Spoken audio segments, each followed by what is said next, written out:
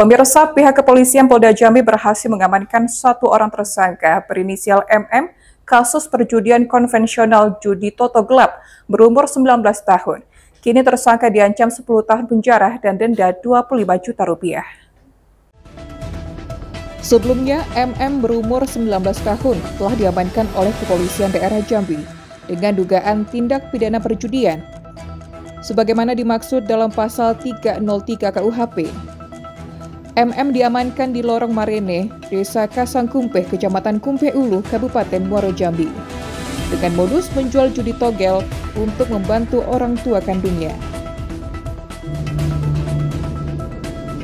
Wadir Reskrimum Polda Jambi AKBP Imam Rahman SIK pada Kamis 7 November 2024 bertempat di Polda Jambi menyampaikan Barang bukti yang berhasil diamankan oleh pihak kepolisian yaitu empat buah buku mimpi, kertas tabel pengumuman keluarnya nomor togel, kertas pemberitahuan kepada pembeli togel, kertas presentase, buku rekapan nomor togel per hari, kupon pembelian togel, 9 buah pulpen dan satu buah spidol untuk menulis, dua buah kalkulator, dan dua buah handphone. Selain itu, pihak kepolisian juga mengamankan uang tunai sebanyak Rp658.000 dan bukti transfer ke orang tua sebesar 3 juta rupiah. AKBP bersangkutan sudah bilang satu tahun, ya beroperasi sudah satu tahun. Uh, satu bulannya kurang lebih beromset 150 juta per bulan per bulan karena perputaran sehari kurang lebih hampir eh, uh, 10 sampai 15 juta. Barang bukti yang diamankan, Pak? Barang bukti yang diamankan ya, bisa diangkat. Nah. Ini ini barang bukti yang ada ya. Yang jelas uh, barang bukti berupa mata uang rupiah ada kurang lebih 685 ribu kenapa masih ada 685 yang jelas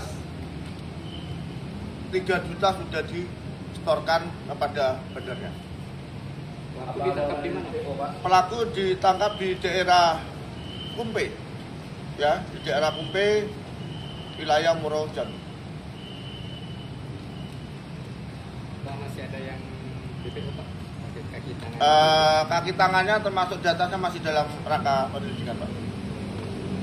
Pak, apakah ada oknum yang terlibat Pak? Untuk sejauh ini masuk belum bisa kami berani menyatakan karena ini masih dalam penyelidikan Pak. Ya. Apakah tersangka sebelumnya sudah ditahan Pak dengan kasus yang sama? Ini belum. Belum. Penghasilannya buat apa Pak? Penghasilan tersangka ini buat apa Pak? Penghasilannya buat kehidupan sehari-hari Pak. Ya. Ya, AKBP Imam Rahman juga menyampaikan bahwa tersangka sudah menjalankan bisnisnya selama satu tahun. Dalam satu bulannya, tersangka bisa memiliki omset sebanyak 150 juta rupiah.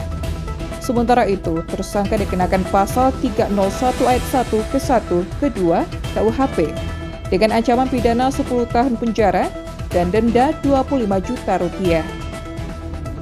Heri Zulkifli, Cek TV, melaporkan.